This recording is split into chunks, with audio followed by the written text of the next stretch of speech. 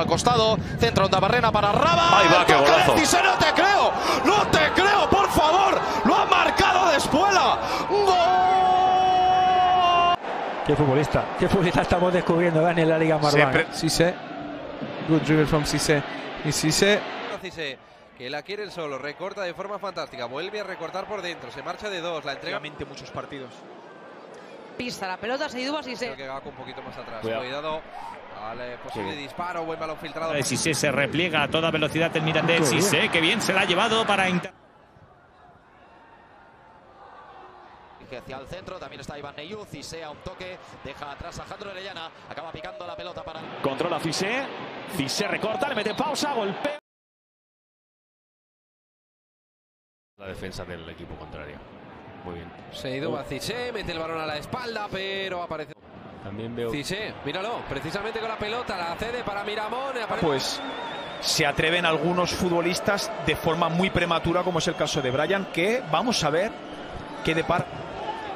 Ha recuperado nuevamente Nioma, que se va de unos. Ah, no, Niom, perdón. Eh, Cissé, es Cissé. Un bosque de piernas. Viene Sisé, amaga, buen recorte. Sisé conduce. Casmi.